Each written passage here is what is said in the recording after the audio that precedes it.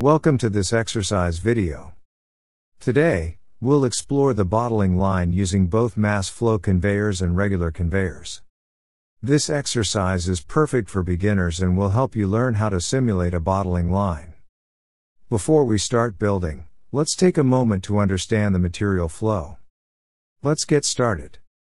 In the material flow, the bottling line begins with the unscrambler, where bottles are introduced into the system. From there, the bottles move to the orienter machine via a conveyor running at 0.5 meter per second. Next, the bottles follow a single lane and travel to the filler, moving at a speed of 1.25 meters per second, where they are filled. After filling, they continue to the labeler, also at 1.25 meters per second, where labels are applied.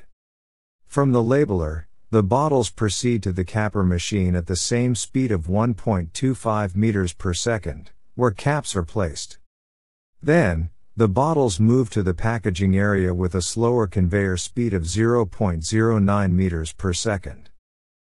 Here, the bottles are packed and moved on to the next part of the workflow with a conveyor speed of 1 meter per second. Now we will replicate the flow with the simulation model. First, Open FlexSim and set the time units to seconds and length units to meters, then click OK. Before building the model, I am changing the model to presentation mode, so the grid lines will not appear. Then, start the model by dragging and dropping the mass flow conveyor, and add one more conveyor. Follow how I am adding these conveyors and use join conveyors to make a new conveyor that connects to the already existing conveyor.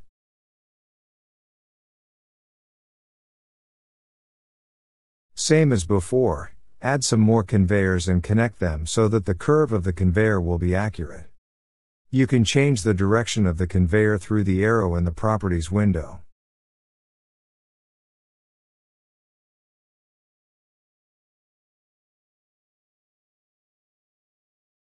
Now, while adding the new conveyor, reduce the width size to 0.07 as this is the single line flow. Move that conveyor and connect it with the other conveyor.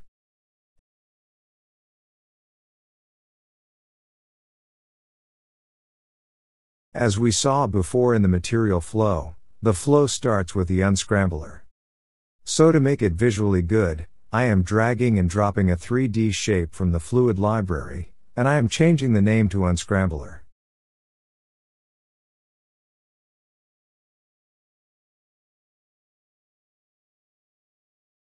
Near the single flow conveyor, the orienter machine will come, so I am dragging and dropping a basic shape, changing the shape to a box, and changing the name to orienter.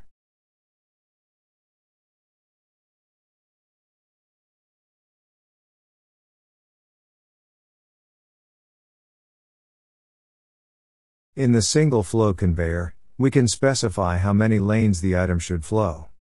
We can see the options in width rule, Select the number of lanes, and keep it as 1.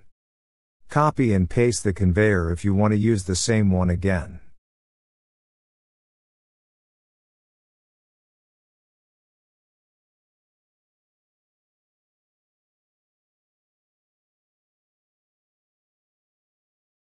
Just follow my steps to add all the conveyors.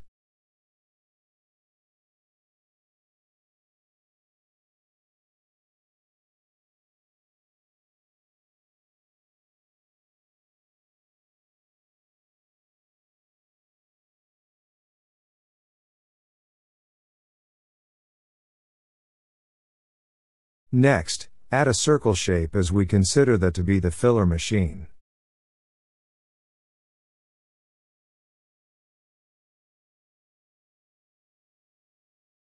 Copy and paste the conveyor and connect the conveyors around that filler.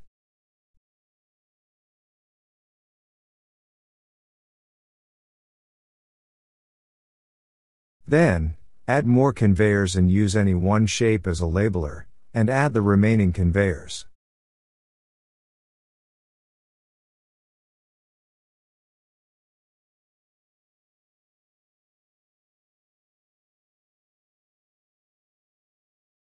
Now we are going to create a spiral conveyor.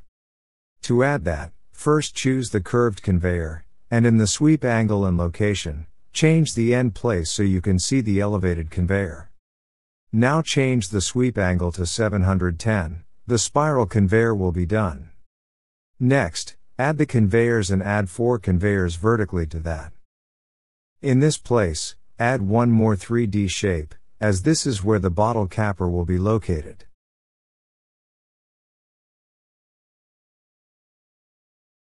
Now add the conveyor with some curved conveyors and normal straight conveyors.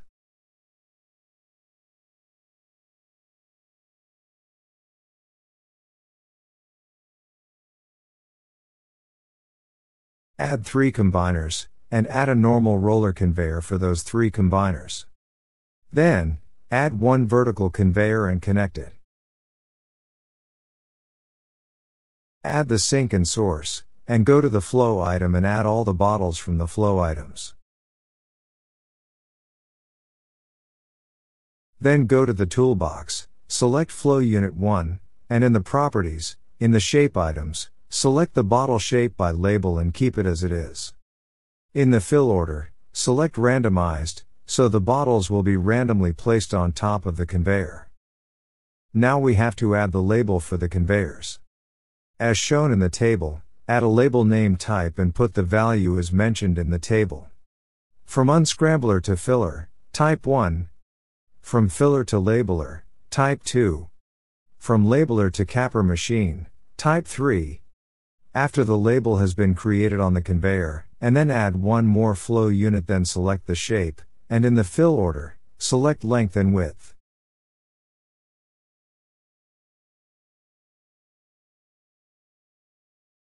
Now connect the conveyor from the capper to the other conveyor, and in the conversion scale, select the two flow units we have created.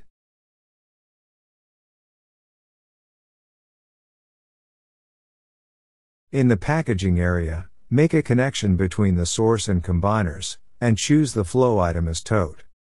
Change the inter-arrival time, then make a connection between the mass flow conveyor and the combiner, and select round robin. Then, change the visualization of the roller conveyor to a belt conveyor. In the properties of the combiner, change the target quantity and processing time.